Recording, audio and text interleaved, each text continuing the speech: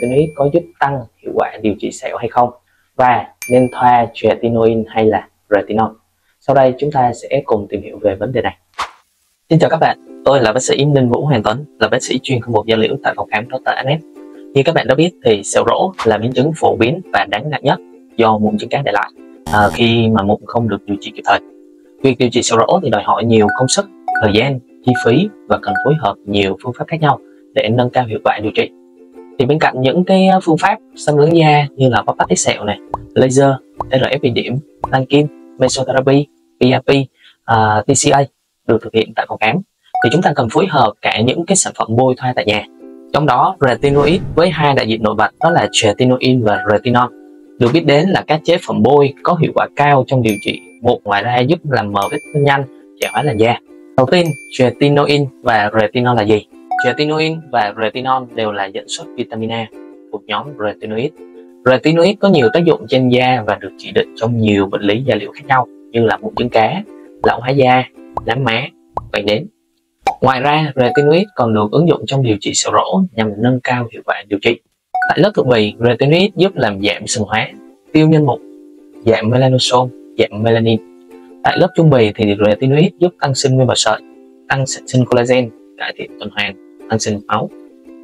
Vậy sự khác nhau giữa tretinoin và retinol là như thế nào? Tuy cùng thuộc nhóm retinoid nhưng mà tretinoin và retinol có một số sự khác biệt. Về cấu tạo phân tử hóa học retinol thuộc dạng ancol, còn tretinoin thuộc dạng axit. Để có thể tác dụng trên da thì retinol cần thời gian để chuyển hóa thành gốc axit. Vì vậy tác dụng của tretinoin sẽ cao gấp 20 lần so với retinol. Tuy nhiên đi kèm với đó là tác dụng phụ và khả năng gây kích ứng của tretinoin sẽ cao hơn là retinol. Tiếp theo, tretinoin giúp điều trị sẹo như thế nào? Đã có nhiều nghiên cứu cho thấy là tretinoin mang lại hiệu quả cải thiện sẹo rỗ ở phần lớn các bệnh nhân. Tuy nhiên, phương pháp được sử dụng trong các nghiên cứu đa số là điện nhi với sẹo tretinoin nên việc thoa đơn thuần tretinoin tại chỗ ở nhà sẽ có tác dụng thấp hơn vì lượng thuốc được hấp thu khi thoa đơn thuần sẽ ít hơn so với khi mà mình dùng với phương pháp điện nhi. Mặt khác, hiệu quả cải thiện sẹo với tretinoin được quan sát uh, thấy sau khoảng thời gian từ 3 tháng đến 3 tháng rưỡi. Do vậy, cần kiên trì sử dụng tretinoin cho các trường hợp sẹo rỗ. Tretinoin có thể giúp hỗ trợ điều trị sẹo rỗ, làm tăng hiệu quả điều trị.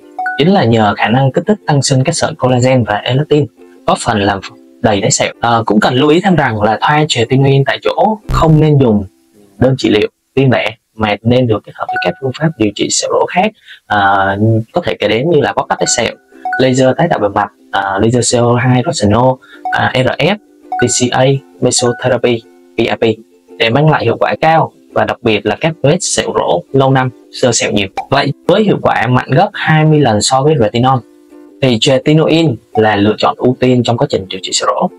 Tuy nhiên, tretinoin là thuốc được kê đơn cần được chỉ định và theo dõi bởi bác sĩ da liễu. Tóm lại, tretinoin và retinol đều thuộc nhóm retinoid dẫn xuất vitamin A và có thể giúp hỗ trợ điều trị sẹo rỗ vì khả năng kích thích tăng sinh nguyên bào sợi, tăng sinh collagen, giúp làm tăng hiệu quả làm đầy sẹo. Tretinoin đã được chứng minh có hiệu quả cải thiện sẹo rỗ qua một số nghiên cứu và có tác dụng mạnh hơn so với retinol. Vì vậy, nên ưu tiên chọn tretinoin hơn là retinol. Sử dụng tretinoin trong điều trị sẹo cần được chỉ định và theo dõi bởi bác sĩ da liễu vì hoạt chất này thuộc nhóm thuốc kê đơn có hiệu quả mạnh và nhiều tác dụng phụ đi kèm. Ngoài ra, việc thoa tretinoin trong điều trị sẹo không nên sử dụng đơn độc mà phải được phối hợp cùng các phương pháp điều trị sẹo lỗ khác để có thể mang lại hiệu quả cao nhất. Xin cảm ơn các bạn đã lắng nghe. Xin chào các bạn và hẹn gặp lại cùng clip sau với bác sĩ Tấn.